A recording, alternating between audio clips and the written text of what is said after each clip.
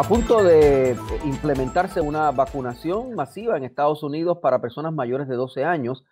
Fuentes informativas dicen que además para septiembre podría bajar esa aprobación para comenzar la vacuna desde los dos años. Está con nosotros la directora del programa de vacunación del COVID-19 en Puerto Rico, la doctora Iris Cardona. Saludos, doctora.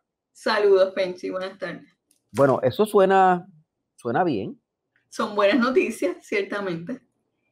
Suena como que, en Estados Unidos se va, y cuando decimos Estados Unidos vamos a, incluir a Puerto Rico, se va a, comenzar muy pronto a vacunar desde los 12 años y después desde los dos años de, de, edad. ¿Cómo nos pone esto? ¿Cómo pone esto a Puerto Rico? ¿En, qué situación pone esto a Puerto Rico? Que, podemos vacunar niños. Ciertamente nos estamos preparando para eso. Eh, cuando digo preparándonos, vacunar niños, vacunar adolescentes, los retos son diferentes a cuando llamamos a las personas de mayor edad.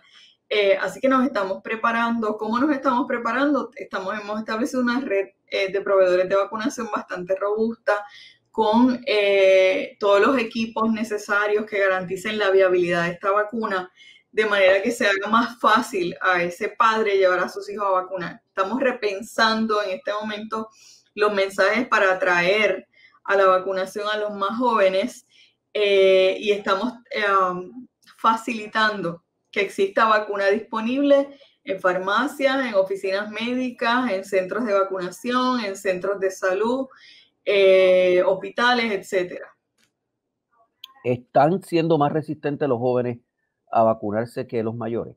¿Se están vacunando al mismo ritmo que se vacunaban los, los mayores o no? Sí, pues sí, sí, eso es correcto. No, no vemos la misma, la misma ansiedad por llegar a la vacunación. No obstante, la población de adultos mayores es el grueso de la población de Puerto Rico. Teníamos que vacunar más personas que querían vacunarse rápidamente y con un suplido de vacunas que estaba eh, limitado en unos momentos dados.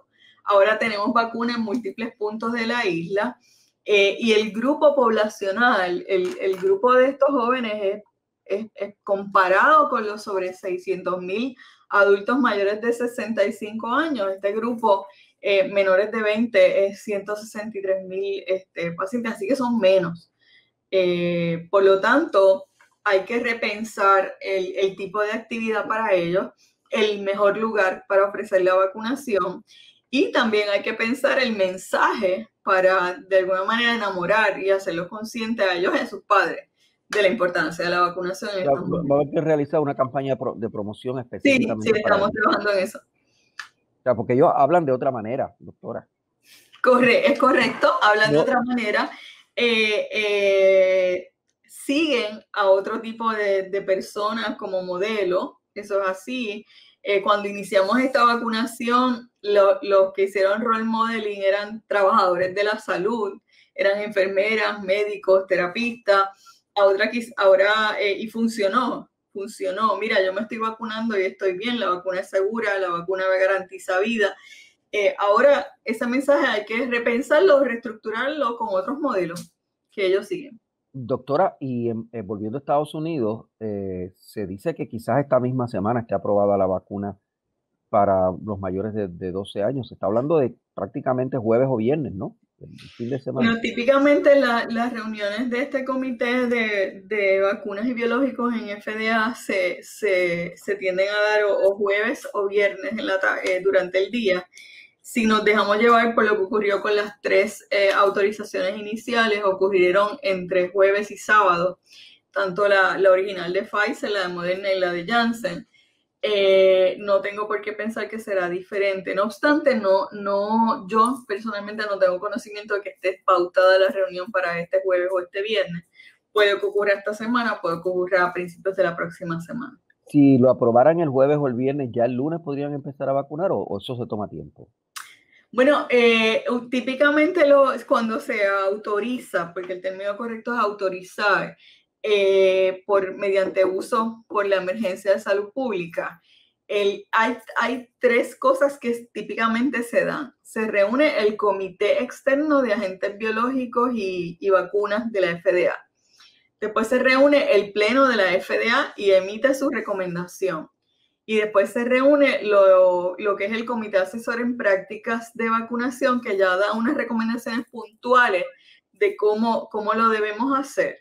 La vacuna estaría disponible en Puerto Rico, entonces los, nuestros proveedores de servicio de vacunación tendrían que tener a la mano nosotros facilitar todos los documentos necesarios que establezcan el, nuevo, la nueva autorización de uso de la vacuna y empezaría inmediatamente. Si nos, eh, no, tan pronto como el lunes, eso no, va a pasar. Sí, sí, bueno, si no el lunes, el martes. Mira, con, con Pfizer, cuando ocurrió la autorización, la reunión se dio un jueves por la noche. El FDA emite su autorización viernes en la noche eh, y entre sábado y domingo eh, se dio la reunión del, del CDC, del, del, Comité Asesor de Vacunación de CDC. Ya el lunes la vacuna estaba en tránsito y ahí no había vacuna, ahora sí tenemos. Y el martes empezó la vacunación. Eso eh, ha, ha, ocurrido con Moderna, fue de una manera similar, ocurrió así en un fin de semana y ya el lunes estaba la vacuna el camino a Puerto Rico. Ahora la diferencia es que tenemos la vacuna, las entregas están llegando semanalmente, varios días a la semana. O sea que no, no, veo por qué no pudiéramos estar listos, si no el lunes, el martes, como fecha tarde de ocurrir este fin de semana. Entre 16 y 20, creo que es la, la edad. O sea, ¿cuánta gente se ha vacunado en esa? Entre 16 y 20 hemos logrado alcanzar con la primera dosis a unos 38 mil, eh, cerca de 38 mil eh, personas y con dos dosis, o sea que ya hayan completado un poco más de 4.000. Pero empezamos hace menos de, de, tres semanas. Realmente. Es una porción evidentemente minoritaria de esa población. Es una porción. ¿Y, y, lo, ¿Y cómo va la vacunación? Todavía hay gente mayor de 60 que no se ha vacunado. ¿Cómo va esta vacunación? Pues mira, eh, las noticias son buenas, según los, estos son datos crudos, ¿no? Hay que, hay que hacer lo que se llama la limpieza de los datos. Eh, pero podría decirte que la población mayor de 60 años, de 60 hasta 100 o más de 100, hemos logrado alcanzar con esa primera dosis un 90% de esa población, eh, que son cerca de 900 mil personas, todo el grupo. Eh, en los, eso contrario al, al 23% de los menores de 20 años. Cuando hablamos de completar la serie de vacunas, pues la han completado un 30%. Recordemos que llevamos unos 3, 4 meses vacunando, si, si, pensamos que empezamos más o menos el 18 de enero, pues a, enero, a febrero, marzo, abril, tres meses llevamos vacunando. Esto es un proceso que no se da inmediatamente al completar la serie, sino que deben pasar en un caso tres semanas y en otro cuatro semanas. ¿30% de toda la población se ha vacunado o 30% de los que tienen más de 60 años? No, no, no. 30% 30% de toda la población para la cual la vacuna está indicada ya ha completado la serie, de toda la población, desde los 16 en adelante. Eh, y 67%, digamos, estamos cerca del 70, ese, ese número del 70% de toda la población alcanzada con una primera dosis. ¿Cuándo vamos a llegar al 60 o 70%? Y esta pregunta se lo he hecho muchas veces, pero se, la tengo, que seguir haciendo porque las cosas van cambiando.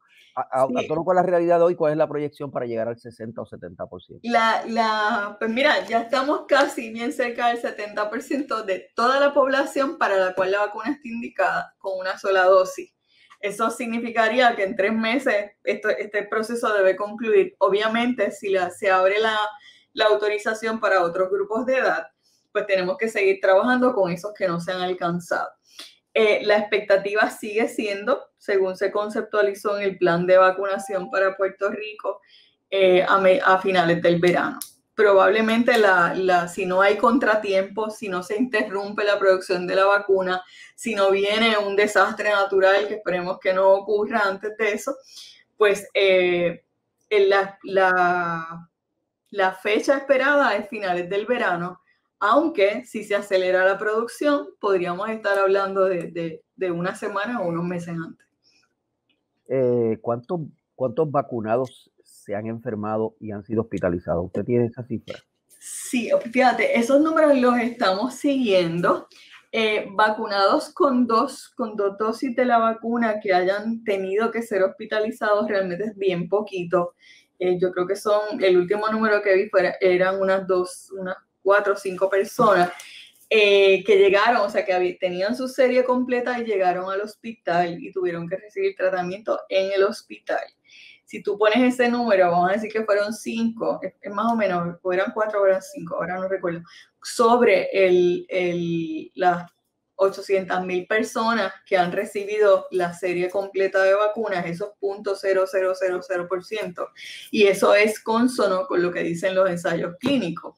La vacuna no te va a proteger al 100% de la población eh, de enfermarse, pero sí te va a evitar en el 95% de los casos una enfermedad severa.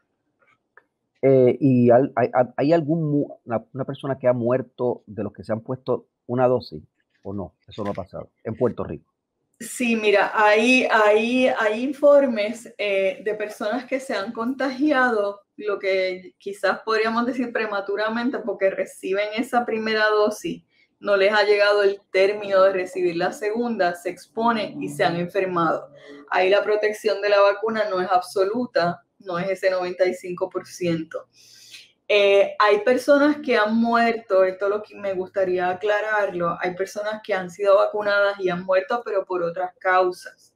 Todos esos casos hemos acumulado unos eh, cerca de 40 casos, yo creo que va el número, no, no lo tengo de frente, pero, pero bueno, eh, tengo una persona que se vacuna, tiene 100 años de vida eh, a la semana o a las dos semanas o al mes de haberse vacunado muere, pero muere por otras causas.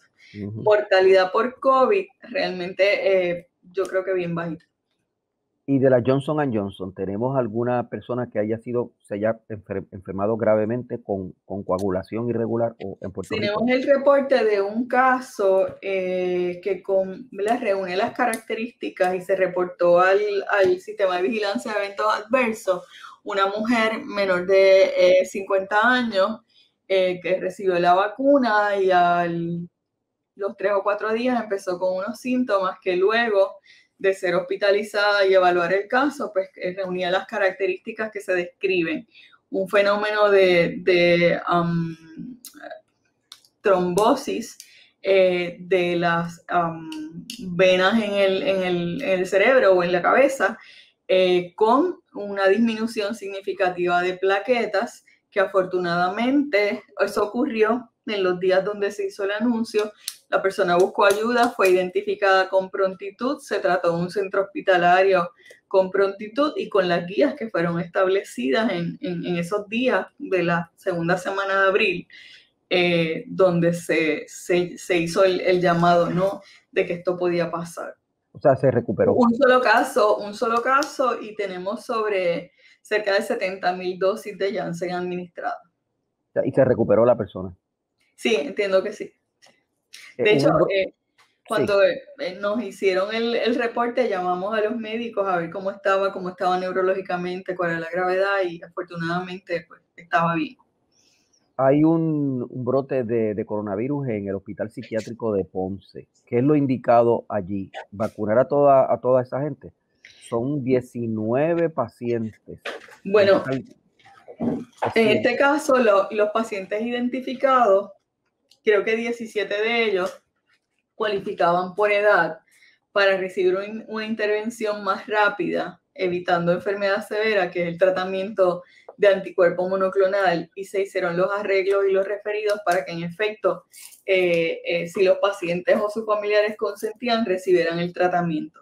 Eso es como medida aguda, porque también es una modalidad de tratamiento que existe, que está disponible, que la, tenemos disponible para los pacientes con riesgo de enfermedad severa, cuyo efecto es inmediato. La vacunación necesita dos semanas y, y luego esperar la segunda dosis y dos semanas más.